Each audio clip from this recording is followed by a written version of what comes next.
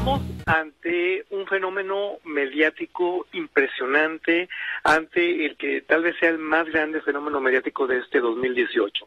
Estamos más que ante el redescubrimiento de Luis Miguel, más que ante el reposicionamiento de Netflix, estamos ante el redescubrimiento de la telenovela mexicana.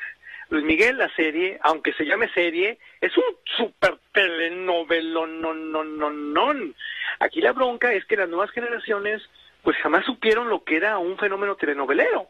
Las nuevas generaciones eh, no sabían lo que era llegar a su casa a cierta hora a ver un capítulo porque qué barbaridad, qué buen chisme y sobre todo después del capítulo comenzar a comentar y al día siguiente en la oficina y en la escuela y en los medios tradicionales y en todas partes.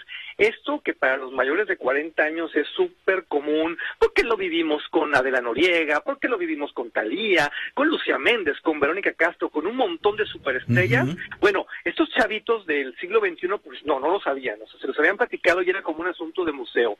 Y esto demuestra que la telenovela mexicana está más viva que nunca. Lo que pasa es que nuestras televisoras olvidaron, se olvidaron de cómo hacerlas.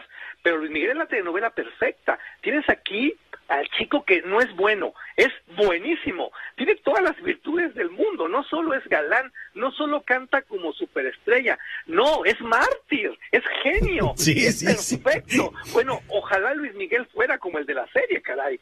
Y tienes a un papá que hace que Darth Vader quede como un pobre estúpido, porque es malo como la carne de puerco y se echa frases célebres y aparece abrazado un jamón y, sopea el pan en licor y hace puras cosas así que son divertidísimas y que son precisamente las que hacían los grandes villanos de las telenovelas de antes. Es muy bonito porque para los mayores es un ejercicio de nostalgia y es muy bonito porque para las nuevas generaciones es una novedad vintage es eh, algo muy hipster, es eh, entrarle a un juego al que no le habían entrado. Álvaro, es en términos de producción así fría. Eh, digamos, una buena serie, una gran serie, el casting te parece que es correcto, adecuado, ya no entremos al tema de si es muy veraz la historia o si tiene sus licencias, ¿no? Como, como suele ser en estos casos, pero en términos así, ¿es, es una gran serie? es una gran telenovela. Y como las grandes telenovelas tiene aciertos y tiene defectos y tiene broncas de producción y errores de Y tiene clichés y tiene lugares comunes. Bueno, hay unos parlamentos como de Caridad Bravo Adams 1951, eso de júrame que nunca le dirás a Luis Miguel la verdad. Eso es viejísimo, es de radionovela, es, bueno, increíble. Ahora, sí hay que decir que este género, este formato merece respeto, que este tono melodramático, tiene su chiste, que el reparto es un gran esfuerzo, que, es un trabajo prodigioso y un asunto que no puedo dejar de celebrar, los libretos. Los libretos están increíblemente bien escritos, como, como, los mejores libretos de las mejores telenovelas de todos los tiempos, y además con innovaciones tan sorprendentes como esta que te voy a contar. Una telenovela tradicionalmente lleva como una secuencia lógica, aquí con Luis Miguel la serie, tú de repente estabas en los 80, de repente en los 90, de repente en un año, de repente en otro, y Luis Miguel niño, Luis Miguel adulto, Luis Miguel adolescente. Eh, era una locura.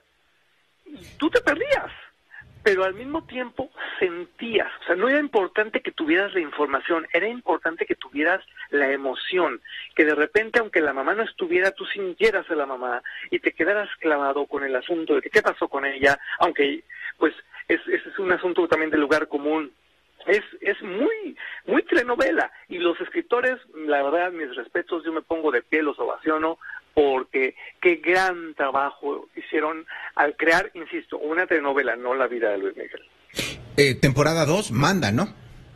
Pero yo espero temporada 2, 3, 4 y 5. Digo, si el Señor de los Cielos se aventó 6, y quién sabe, ahí viene la 7, ¿por qué Luis Miguel no se va a echar más? Además no es narco, además no es negativa, no manda ni mensajes nocivos para nadie, está padre. Yo creo que aquí hay un asunto que todos tendríamos que apreciar y un asunto que la industria de televisión mexicana tendría que imitar, porque la verdad qué vergüenza que tenga que venir Netflix a recordarnos lo que es una telenovela cuando Televisa, cuando TV Azteca, incluso gente que ahora está en imagen televisión, hicieron grandes clásicos que pues ya ni quien se acuerda, ¿verdad? Álvaro Cueva te saluda Oscar Holguín. Tú mencionabas al inicio de esta charla que es eh, de alguna manera un regreso a las telenovelas y a los fenómenos que se vivían en los ochentas, mezclado con el siglo XXI, porque en efecto era esperar el domingo a las nueve de la noche para ver el episodio, pero inmediatamente después de que terminaba, saturarse las redes sociales, eh, volverse tendencia, al día siguiente las notas en los medios, en los portales, ver en el Universal, en Reforma, lo que se dijo, lo que no se dijo, en los diferentes programas de radio y de televisión, a los personajes que aparecieron, dar su versión, si es verdad, si no es verdad. Es como una mezcla de dos mundos, ¿no? El, los ochentas y ahora los 2018, ¿no? Acabas de decir una gran verdad. Quienes vivimos los fenómenos telenoveleros del pasado, pues no teníamos redes sociales pero por ahí tú te encuentras en la hemeroteca joyas de lo que pasaba con Cuna de Lobos, por ejemplo, que se paraban las sesiones del Congreso, que eh, la gente salía antes de las universidades para irse a correr a ver capítulo, que, bueno, había mm, pintas que decían Catalina Krill para presidente. Eh, todo eso eh, es lo que estamos viendo ahora con los memes, es lo que estamos viendo ahora con los tweets, es lo que estamos viendo con Facebook y con todo lo que hace el público cuando algo en verdad funciona. funciona. lo dijiste muy bien, es la fusión de dos mundos, yo creo que es la actualización de, de una reacción y eso me llena de esperanza, porque qué padre que esto esté pasando hoy, eh, cuando todos pensábamos que la telenovela estaba muerta. Además, eh, insisto, es tan emocionante, queremos ya saber qué va a pasar, queremos saber eh, cómo va a continuar esta historia, queremos todo el chisme, queremos, eh, aunque ya conocemos al Luis Miguel Real, queremos seguir con el Luis Miguel de ficción.